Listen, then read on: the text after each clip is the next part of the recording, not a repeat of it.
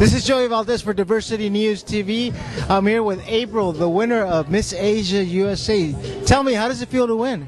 It's it's an amazing experience. There's there's nothing like it. What motivated you? What inspired you to become a contestant?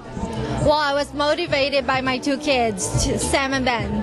Um, they I always push them to do something that they fear of, and they told me, you know, just try this experience. So I'm doing it for them. What are some of the obstacles you had to overcome to be a winner? Well, definitely, you know, um, facing something that you've never done before. So it, it's such an amazing experience. It's a new experience for me. So yeah, absolutely, and meeting meeting new people. That's just um, amazing.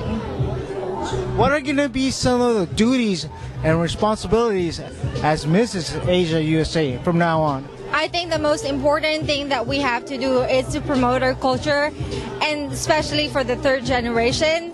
So I think that's really the most important thing. What are some of the myths and misconceptions that the general public has about, you know, beauty pageant contestants?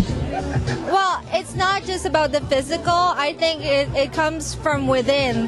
Beauty really transcends from the physical beauty. It's from the confidence and what you really believe in.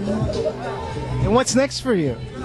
Well, um, eating, eating cake.